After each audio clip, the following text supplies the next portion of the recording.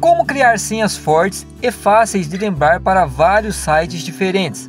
A gente sabe que com tantos sites e aplicativos fica difícil não se perder com tantas senhas. Então vou ensinar vocês a como criar uma senha única e diferente ao mesmo tempo, onde você pode utilizar em todos os sites. E o melhor, mesmo a senha sendo diferente para cada site, você vai lembrar facilmente.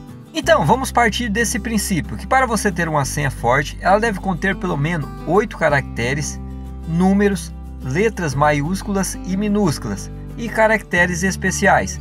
Veja aqui o exemplo na tela. Tá ok, até aqui todo mundo já sabe. Mas como então modificar essa senha para cada site específico sem que você esqueça dela depois? Então já está aqui na tela o exemplo da nossa senha forte que criamos e como vamos modificar essa senha então para cada site específico. Observe que à frente de cada senha eu acrescentei mais uma letra e essa letra não está aí à toa, ela que vai fazer nós lembrarmos do site que essa senha vai pertencer. Por exemplo, na primeira senha de cima eu fiz o exemplo do Mercado Livre. Essa senha vai pertencer ao Mercado Livre.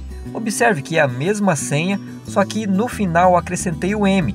Então toda vez que eu vou acessar o Mercado Livre, eu vou lembrar que essa senha tem um M porque é o começo de Mercado Livre. No exemplo de baixo, observe que é a mesma senha, porém tem o A no final, onde eu simulei como se fosse minha conta da Amazon.